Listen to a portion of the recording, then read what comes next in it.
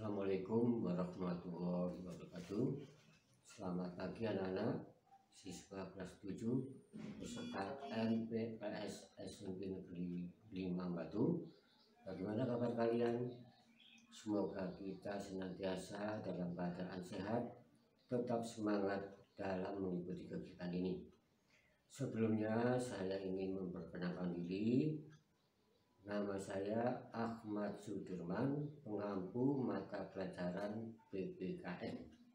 Pada kesempatan ini saya akan menyampaikan materi penguatan pendidikan karakter di masa pandemi.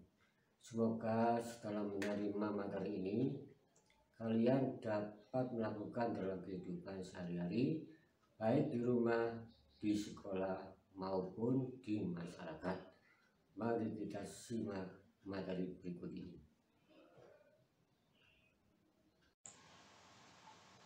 Baiklah anak-anak, saya akan menjelaskan tentang apa itu pendidikan karakter serta apa saja nilai utama pendidikan karakter bagi peserta didik. Penguatan pendidikan moral atau pendidikan karakter dalam konteks sekarang sangat relevan untuk mengatasi krisis moral yang sedang melanda di negara kita.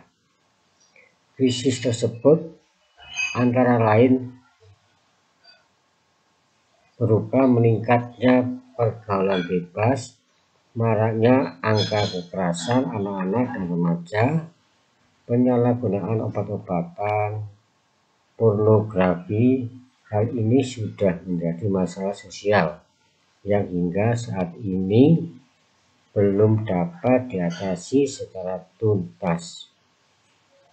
Oleh karena itu, betapa pentingnya pendidikan karakter.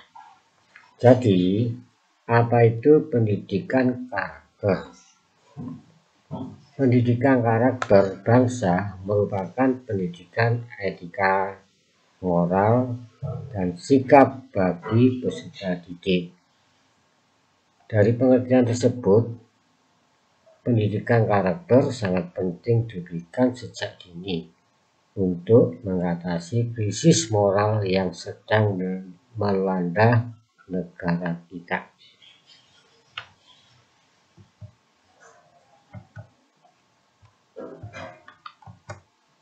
Sedangkan Tujuan pendidikan karakter untuk membentuk dan menyempurnakan diri individu secara terus-menerus dan melatih kemampuan diri demi menuju ke arah hidup yang lebih baik. Nah, anak-anak, mungkin kalian ingat nilai utama pendidikan karakter. Dalam utama pendidikan karakter ini dibagi menjadi lima. Yang pertama, religius. Yang kedua, nasionalis. Yang ketiga, mandiri. Yang keempat, gotong royong. Serta yang terakhir, yang nomor lima, integritas. Nah, untuk religius, dalam karakter religius mencerminkan keberimanan terhadap Tuhan Yang Maha Esa yang kedua, nasionalis. Nilai karakter nasionalis merupakan cara berpikir, bersikap, dan berbuat yang menunjukkan kesetiaan, kepedulian, dan penghargaan yang tinggi terhadap bangsa. Mandiri. Nilai karakter mandiri merupakan sikap dan perilaku tidak tergantung pada orang lain. Gotong royong nilai karakter gotong royong, mencerminkan tindakan, menghargai semangat, kerjasama, dan bau-membau, menyelesaikan persoalan bersama, menjalin komunikasi dan persahabatan, memberi bantuan atau pertolongan pada orang yang membutuhkan. Sedang yang terakhir adalah integritas. Nilai karakter yang muncul di sini merupakan nilai yang mendasari perilaku yang didasarkan pada upaya menjadikan dirinya sebagai orang yang selalu dapat dipercaya dalam perkataan, tindakan, dan pekerjaan, memiliki komitmen dan kesetiaan pada nilai-nilai kemanusiaan dan moral. Nah, sekarang akan kita bahas mengenai contoh-contoh pendidikan karakter. Nah, mungkin kalian masih ingat apa itu religius, nasionalis, mandiri, gotong royong, serta integritas. Sekarang kita akan membahas tentang religius.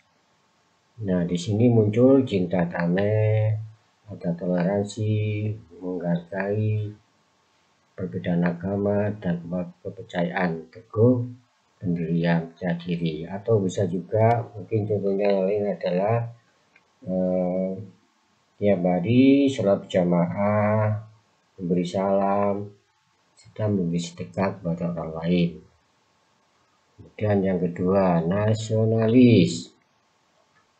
Menjaga kekayaan budaya sendiri, era berkorban, cinta tanah air, unggul dan berprestasi, taat hukum, atau bisa juga di sini adalah tiap hari Senin kalian upacara di sekolah.